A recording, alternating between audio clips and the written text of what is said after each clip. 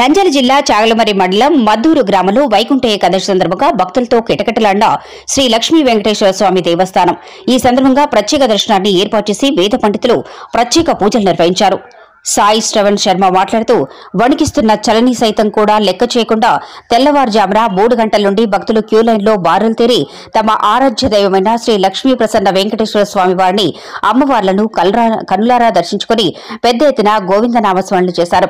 భక్తులకు ఎలాంటి అసౌకర్యం లేకుండా దేవస్థానం వారు అన్ని ఏర్పాట్లు చేయడంతో భక్తులు ప్రశాంత వాతావరణంలో శ్రీవారిని దర్శించుకున్నారు. వైకుంఠ ఏకాదశిని పురస్కరించుకుని ఆలయ ప్రధాన అర్చకులు ఆళ్ళగడ్డ టీడీపీ పార్టీ యువ నాయకుడు భూమా జగత్ విఖ్యాత్ రెడ్డి భార్గవరావు నాయుడికి భరద్వాజ శర్మ విశేష పూజలు నిర్వహించారు.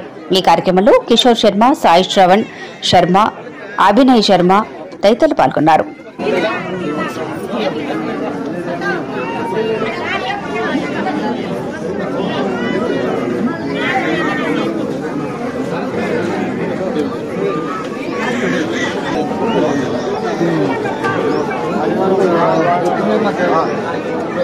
ಇನ್ನೇನು